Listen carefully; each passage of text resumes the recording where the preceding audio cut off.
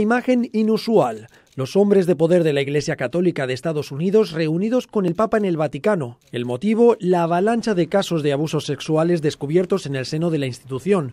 Solo en Pensilvania la justicia expuso hace un mes que más de 300 sacerdotes se propasaron con un millar de niños y adolescentes en las últimas siete décadas. El informe de la Fiscalía General de Pensilvania no ha hecho más que abrir la caja de Pandora sobre los abusos sexuales dentro del seno de la Iglesia aquí en Estados Unidos. Cada vez son más los estados que se suman a estas investigaciones para descubrir los numerosos casos que se llevaron a cabo durante décadas. Juan Carlos Cruz sufrió los abusos de un sacerdote chileno durante ocho años.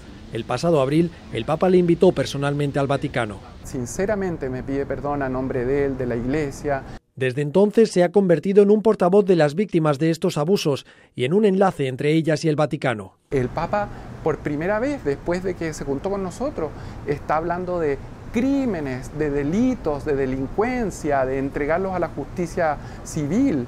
Antes se hablaba de pecados al sexto mandamiento, de faltas. No son faltas, no son pecados, son asesinatos de, personas, del alma de personas.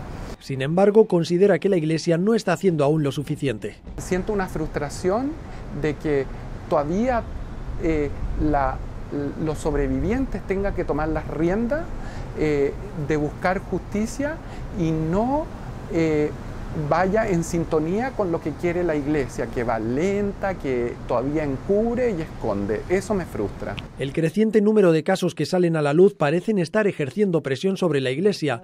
Tras el encuentro de la cúpula estadounidense en el Vaticano, el Papa dio luz verde a que se investigue al obispo de Virginia Occidental, Michael Bransfield. Sin embargo, aún quedan cientos de clérigos por investigar. Bricio Segovia, Voz de América, Filadelfia.